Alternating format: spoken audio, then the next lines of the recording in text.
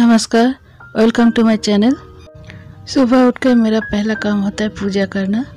नहा धो के पूजा करने के बाद थोड़ा सा नाश्ता करके मैं चली जाती हूँ किचन में।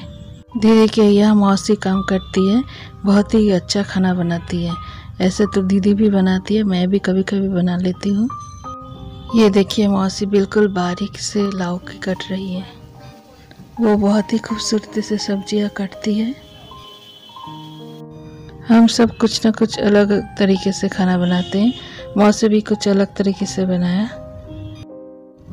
एक दिन मैं उनकी दुकान में जाऊँगी ताकि आप सब लोग देख सके कहाँ पे उनकी दुकान है। एक ऐसा सब्ज़ी है हम जिसमें सब कुछ डाल सकते हैं। झींगा मछली और भी अलग अलग किस्म की मछली फ़िश हेड मौसे इसमें डाला उड़द दाल की बरिया। ये कंप्लीट हो गया मेरा लौकी। अब बना रही है मौसी फ़िश करी। ये मछली को दीदी अच्छी तरह से धो रही है।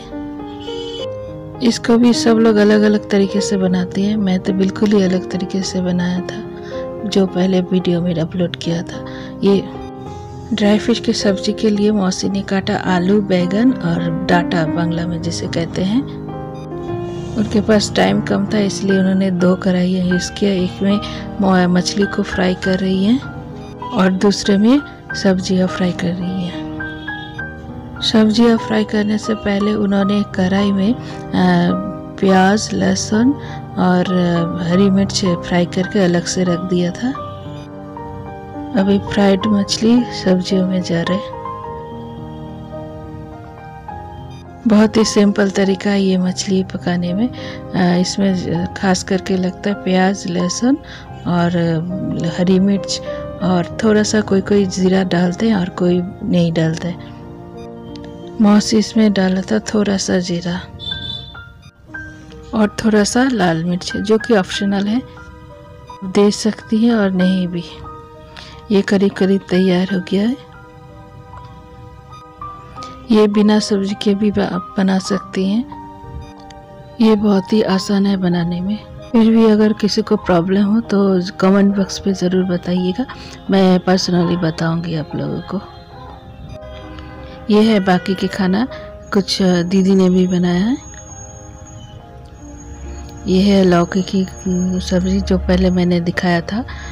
ये लौकी की जो छिलका होता है वो फ्राई दाल, छोटा मछली, चिकन और ड्राई फ़िश तो है ही। शाम को हम लोग गए थे गेट बाज़ार, मैं और मनु मटन लाने। तो आते समय हम लोग पैदल आए, तभी मनु बोलने लगा कि मुझे भूख लगा है। तो मैं ले गई इसको फ़र्स्ट फ़ूड की दुकान, वो अभी मोमो खा रहा है। घर आने के बाद वो फिर से बोलने लगा कि मुझे भूख लगा है। तो उसने बारबेक्यू बनाया। बरामदा में लाइट कम होने की वजह से ठीक से उठ नहीं पाया पिक्चर। अब ये बना रहे। बाहर का नज़ारा बहुत ही खूबसूरत है। दीपावली की लाइट अभी तक जल रहा। है ये है बारबेक्यू, जिसको दीदी ने ऑनलाइन ऑर्डर करके मंगवाया है। काफ़ी छोटा और खूबसूरत बारबेक्यू है ये। और कहीं पे भी ले जा सकते हैं।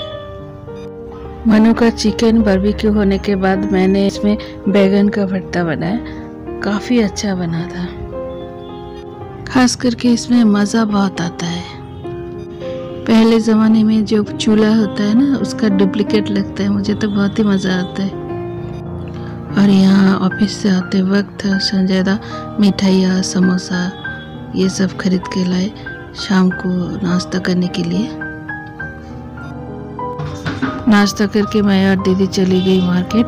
मनु के लिए जूता खरीदने। उसका स्कूल दो दिन के लिए खुला है। तो आज के लिए इतना ही। मिलते हैं अगले वीडियो में।